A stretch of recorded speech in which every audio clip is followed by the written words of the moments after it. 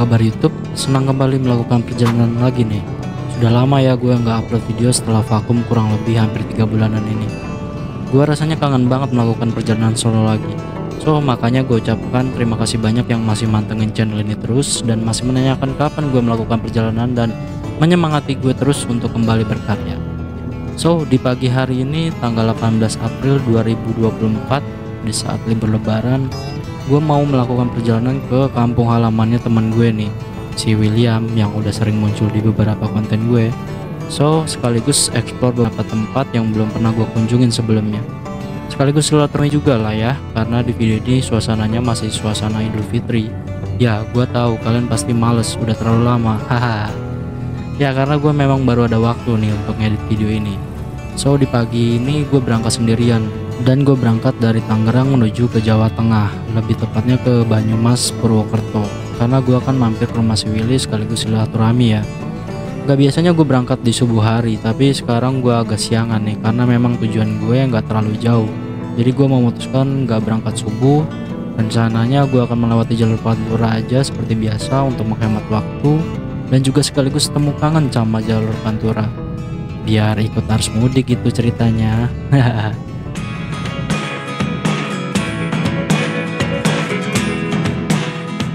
ada gak sih beberapa teman-teman yang di sini setiap nggak melakukan perjalanan atau vakum melakukan perjalanan pasti kangennya luar biasa banget ya? Nah itu adalah salah satunya gue. Gue tuh kayak nggak bisa lepas dari perjalanan nggak tahu kenapa ya. Mungkin karena gue memang selalu mendalami perjalanan ini sebagai eksplorasi intelektual dan juga rohani gue tentunya.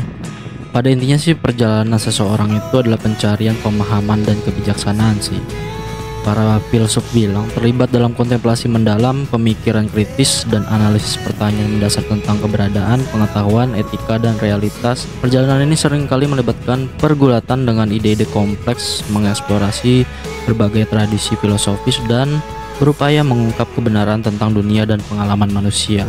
Itu sebenarnya yang bisa gua sedikit cerita kenapa gua selalu melakukan perjalanan ya teman-teman. So, kalian kayak gimana?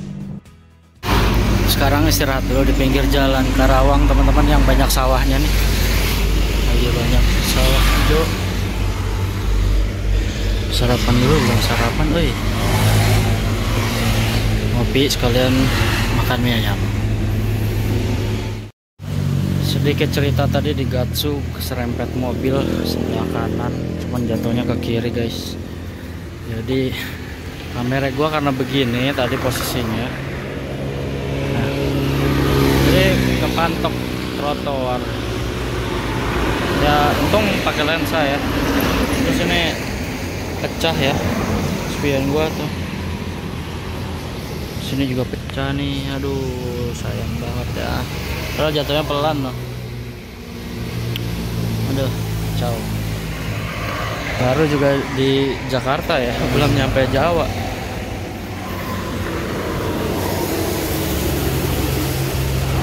aman sih.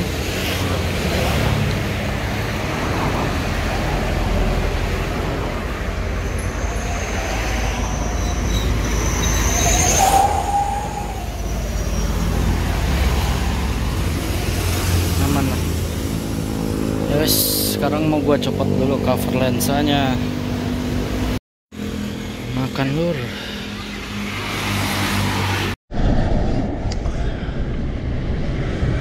Oke, saatnya jalan lagi teman-teman. Sekarang gua habis makan, sekaligus sarapan, makan siang. Nanti rest lagi jam 12 nyari masjid. Mudah-mudahan sampai lewatin ini ya, Cikampek. Ya, bye-bye covernya. Ya. Ini kebetulan gue nggak bawa audio adapter teman-teman ketinggalan sialan banget ya hari ini tuh benar-benar apes banget deh kayak kayak bertubi-tubi tadi diserempet ya kan? Terus nggak bawa kacamata hitam. Sekarang nggak bawa audio adapter jadi suaranya bakalan banyak dubbing ya teman-teman. Sorry nih ya. Mudah-mudahan nggak ada jatuh lagi karena cover lensa belakang nggak ada nih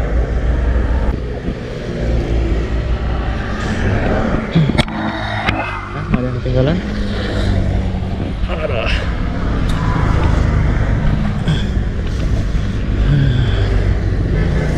Bismillahirrahmanirrahim.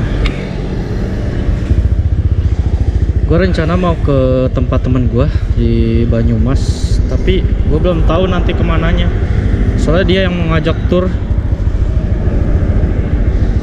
Ya mudah-mudahan nggak terjadi apa-apa lagi.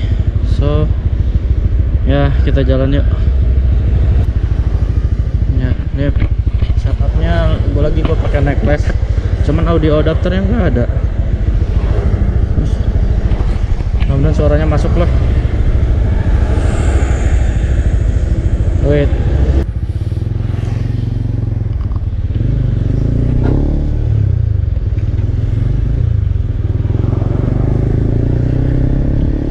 Oke.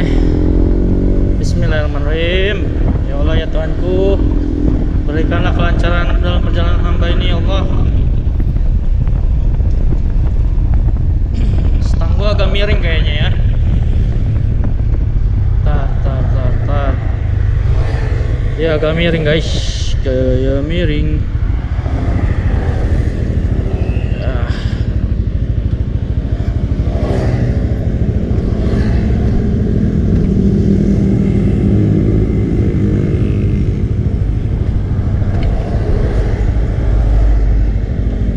Oke sudah Kalau mau benerin stang CB 150X kayak gitu aja temen-temen kalau jatuh-jatuh ringan ya. Tapi kalau jatuh jatuh besar mu- kemungkinan sih nggak bisa. Karena apa ya?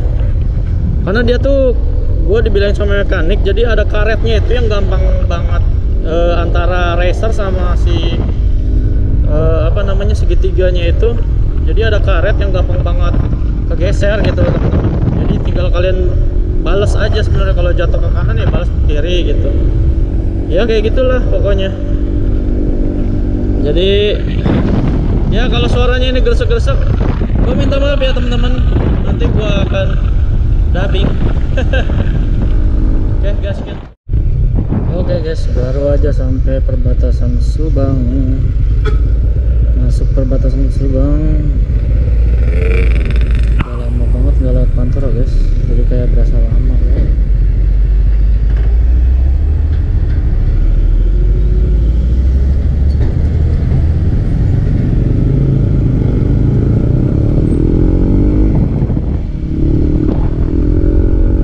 dan hari ini panasnya luar biasa teman-teman kayaknya mau hujan nih sore parah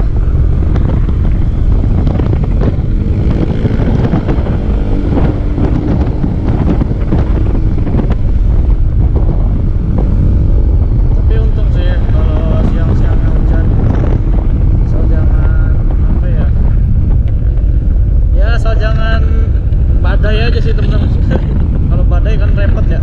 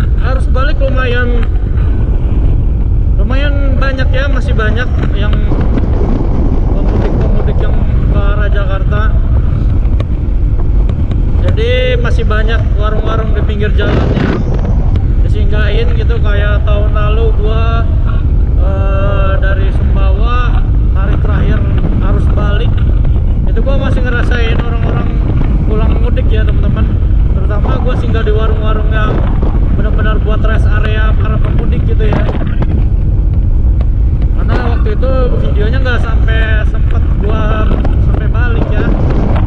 Jadi gua nggak bisa nunjukin juga kemarin. So karena kemarin malam juga sekarang siang waktunya jadi gue bisa ngeliat nih. Arus baliknya lumayan lancar. Terus apa ya masih banyak sih arus balik eh, pemudik-pemudik. Yang mobil dan motor ya banyak.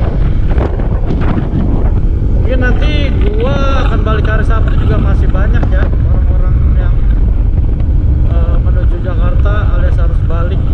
Dan rest area dadakan juga masih banyak gitu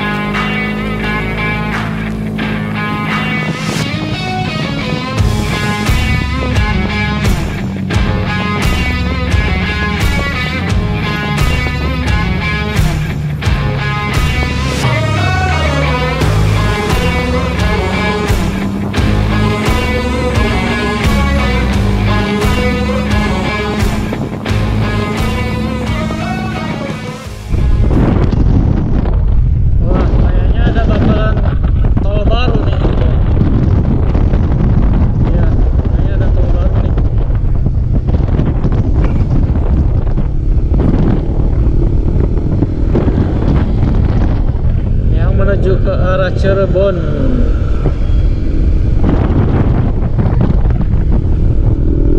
Sekarang udah jam 12 lewat 19, teman-teman. Jadi gua harus isi rumah dulu lagi cari masjid di mana gitu ya cuman gue rada-rada ngeri ya kalau istirahat di masjid tuh kadang apa ya banyak kasus kehilangan barang pas lagi parkir makanya ngeri ngeri sedap kayak helm temen gue waktu itu sempat eh, kehilangan helm ya pas lagi sholat padahal dia mau kelompok Oh ya teman-teman, jadi kemarin gue tuh sempat ganti gear depan belakang, akhirnya gue ganti satu set, tapi bukan satu set. Oke teman-teman, jadi biar jelas, sebenarnya gue lagi ceritain soal gue ganti gear ya. Jadi gue baru aja ganti gear set dari depan ke belakang. Sebenarnya tadinya mau ganti depan doang, cuman belakang ternyata juga udah mulai kurang bagus ya. Dan di saat mau ganti gear dua-duanya eh, rantai gua kan masih rantai lama ya. Di saat mau motong eh, rantainya kebetulan si mekaniknya eh, kayaknya membuat kesalahan. Akhirnya rantai gua retak nggak bisa dipakai lagi. Sebenarnya sih gua gara-gara motong rantai itu karena gear depan gua gua kecilin ya teman-teman. Dari ukuran standarnya ke turun satu jadi lebih kecil. Sebenarnya sih tadinya nggak mau cuman karena gue pikir kayak kurang ajib juga ya kalau naik belakang doang kalau depannya nggak diturunin gitu ya. Nah, sekaligus yang kalian lihat di depan ada setup baru, gue pasang voltmeter dari Koso yang dual ada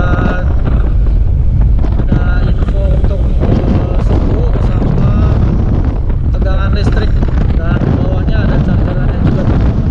dan di sini gue juga pakai pakai punyanya Pato Wolf yang sebenarnya dia tuh include sama apa namanya model handphone yang Moto Wolf itu sebenarnya ini aksesoris itu cuman gua beli eh, aksesorisnya doang chargernya doang nanti gua pasang di sini chargeran gua yang lama tutupnya soalnya udah udah ada teman-teman pas jatuh di sekitaran Tangkuban Perahu kemarin jadi gua nggak tahu ke mana lagi tuh eh, chargeran ya tutup chargernya daripada nanti konslet kalau kena air ini gua ganti aja sekalian jadi tetap gua punya dual slot yang satu di sini yang satu di sini gitu ya.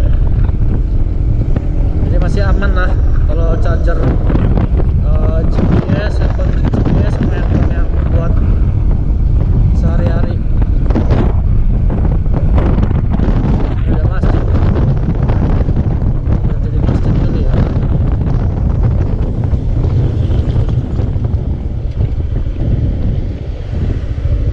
parkirnya di mana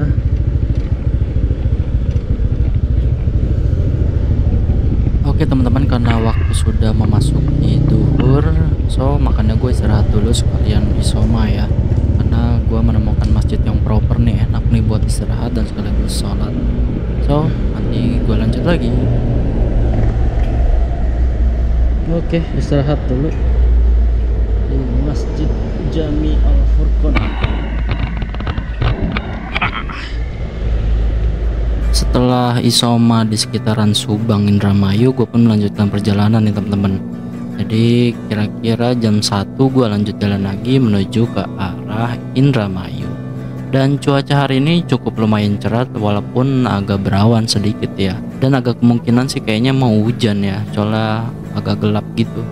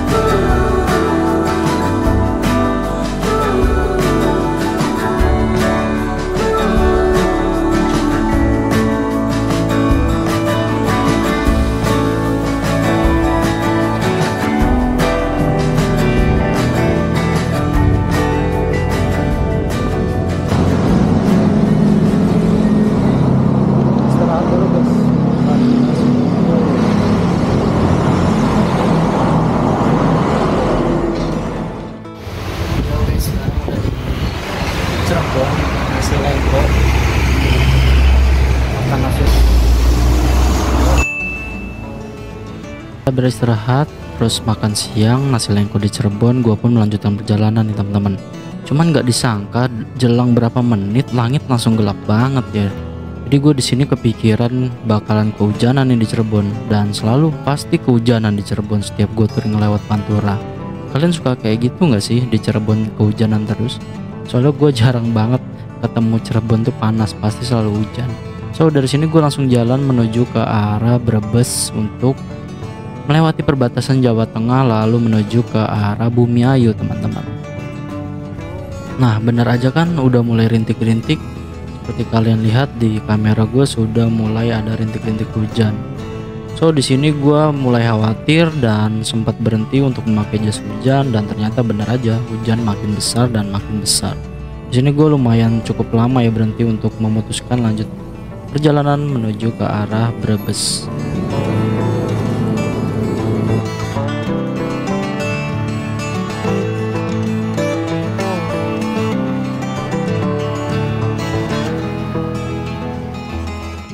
Setelah menggunakan peralatan tempur untuk menghadapi hujan, gue pun melanjutkan perjalanan ke arah perbatasan Jawa Tengah menuju ke arah Tegal dan Brebes. So, di sini hujannya lumayan deras ya teman-teman, karena gue memang ngejar waktu jadi gue buruin aja sambil jalan sih, walaupun tetap safe dan pastinya fokus. Setelah melewati perbatasan kota Cirebon menuju ke arah Brebes alias Losari, gue sempat berhenti nih untuk uh, men-setup atau men-setting folder dari kamera 360 gue. Karena sempat longgar dan sempat nggak kenceng jadi hampir jatuh kamera gua. Memang kayak hari ini kayak lagi sial banget gitu ya. Dan sekaligus juga gua lagi setup setup handphone untuk menghadapi hujan dan charging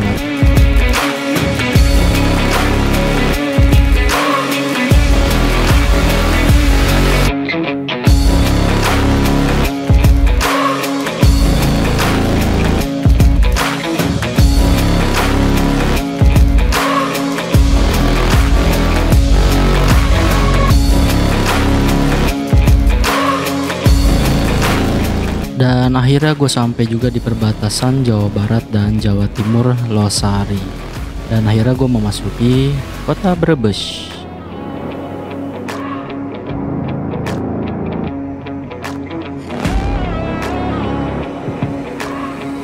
Dan setelah melewati perbatasan Jawa Tengah Jawa Barat, gue pun menuju ke arah jalur Bumiayu via Pejagan. Karena memang ini jalur yang paling cepat menuju ke arah ke Purwokerto dan Banyumas ya teman-teman. Dan di sini gue harus putar balik ya karena memang jalur uh, menuju ke jalur Pejagan tuh ditutup kalau dari arah Jakarta ya.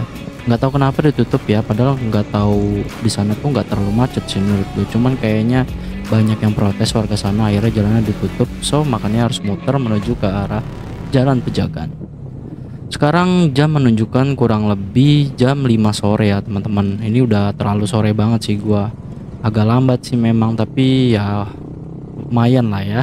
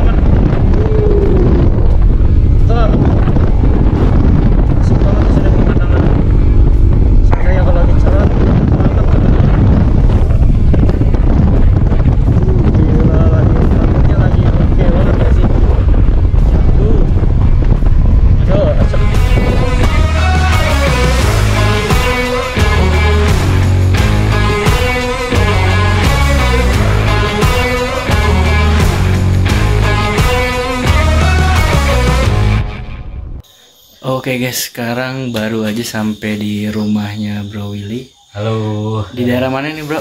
daerah Samudra Renggong, Samudra Renggong Kamu Kabupaten Banyumas, Kabupaten Banyumas ya. Jawa Tengah. Jawa Tengah. baru aja sampai sekarang jam 9 tadi nyampe jam 8 ya? Ya, kita jam Sekitar 8 jam 8-an. di Waduk Penjalin. Waduk Penjalin pokoknya dekat banget setengah jam atau 20 menit nah ini di rumahnya cuman gua nggak mau expose semuanya karena ya privacy lah sekarang mau makan Makan malam ini. makan malam yang kemalaman tapi nggak apa-apa tadi eh, kita ini ya mancing ya Iya. Mancing tadi di Waduk Penjalin dulu mancing. di depannya ada warung Yaudah kita makan dulu bro